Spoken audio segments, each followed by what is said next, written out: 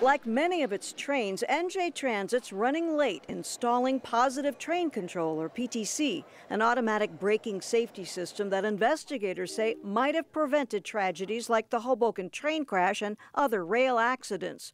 While NJ Transit's PTC compliance has improved a bit lately, it's still in danger of missing a federal deadline, according to the FRA, or Federal Railroad Administration.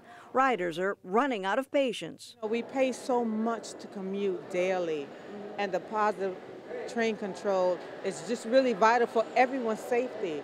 I don't understand what the holdup is. Well, I think they should have put it into effect a long time ago.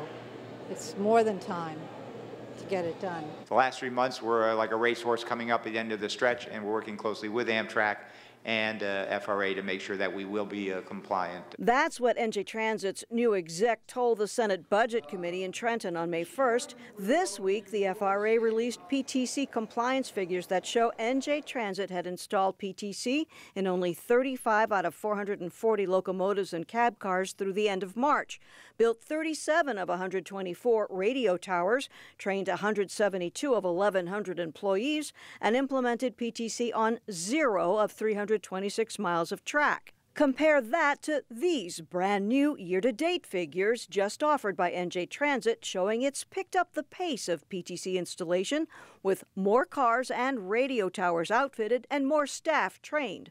The agency says it's battling logistics on a complex railway. I'm not going to tell you that we're going to get 440 cars done, you know, by October, but until we made room in the yards, it was really difficult for us to get cars in to outfit them for PTC. NJ Transit announced it's reducing service on 18 trains to expedite installation and meet the December 31st deadline. To request a final extension to 2020, NJT would need to meet strict requirements like getting PTC installed on 100% of its hardware. Currently, it's at 13%, among the nation's worst records for compliance, and may request special consideration by the FRA under so called alternative criteria area. That if you're one car below that or a few other things, there's some variations, that as long as you have a clear path to being 100% compliant and up and running full, fully by 2020 deadline, uh, that they can work with you. So we are studying that option as well. But riders don't want to hear about extensions. No more extensions. They've gotten enough extensions. Definitely. Why? We need to save lives. Amtrak has warned New Jersey Transit that if it doesn't get PTC installed on deadline, it won't let the agency use its tracks, including those that run under the Hudson to Penn Station. At Newark Penn Station, I'm Brenda Flanagan, NJTV News.